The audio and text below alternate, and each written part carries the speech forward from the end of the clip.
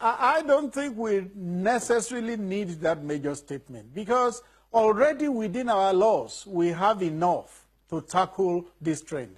I think it was Barrister Femi Falana who, who made a pronouncement a week or two ago that already in our statutes we have provisions that can deal with fake news and with hate news. So it's just a matter of implementing what we have, using the law that we have, and anybody that is caught being at the bottom or being behind fake news or hate news should just answer for it. There is enough law already.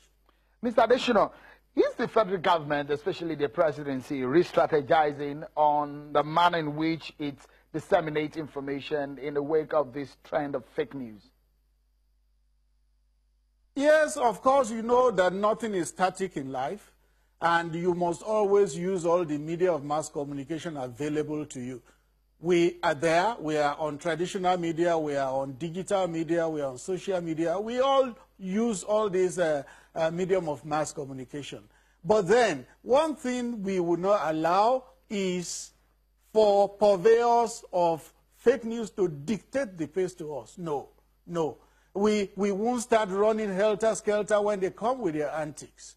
Once we know that this is their intention and this is why they, they want to draw us out, we will, not, we will not let them lead us by the nose. We will do what is right and proper at all times.